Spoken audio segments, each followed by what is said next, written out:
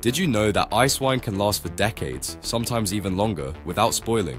The secret lies in its unique chemistry and production process. Ice wine is made from grapes that freeze naturally on the vine, which concentrates their sugars and intensifies their flavors. When these frozen grapes are pressed, they release a thick, nectar-like juice that is incredibly sweet and highly acidic.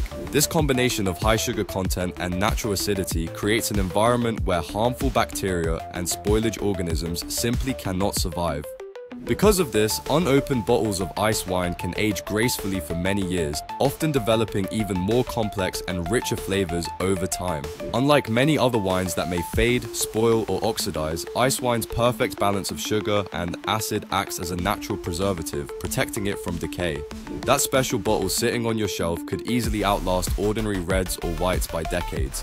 So, next time you enjoy a glass of ice wine, remember, it's not just a delicious treat, it's a remarkable example of nature's preservation power. Comments below if you knew this sweet secret.